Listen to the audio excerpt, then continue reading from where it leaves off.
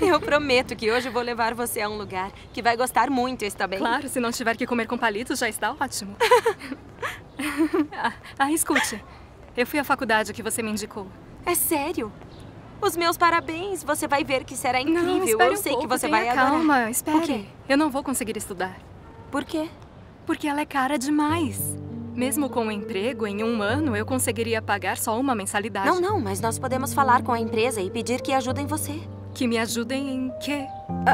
É, bem, a conseguir uma bolsa, obviamente, ou... O quê? É O que eu foi? já...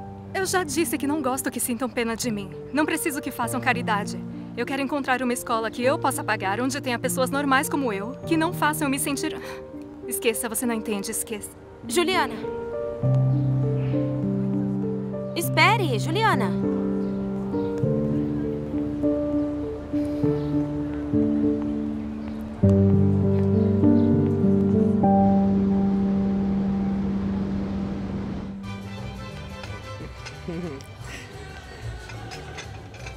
Eu serei eternamente grata ao Pantito por ter me indicado você.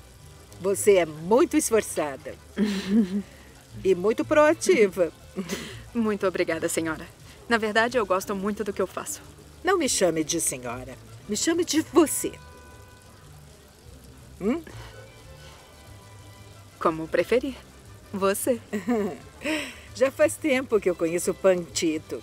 Ele sempre foi um ótimo rapaz. Acho que quem se aproveita disso é a esposa dele. Eu tenho certeza de que ela engravidou justamente para se casar com ele. E agora faz dele o empregado dela. Sempre dá ordens. Traga isso para cá, leve isso para lá. Cuide das crianças, faça comida. É porque ela nem ao menos sabe cozinhar. É uma inútil. E além de tudo, é feia. E você? É casada? Sim. Me casei muito jovem. Eu espero que seja um casamento muito feliz.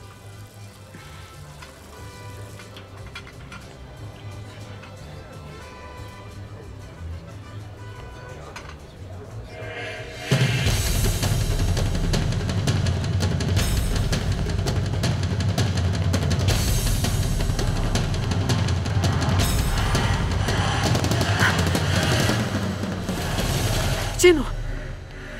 Eh, Desculpe. Eu me confundi. Desculpe.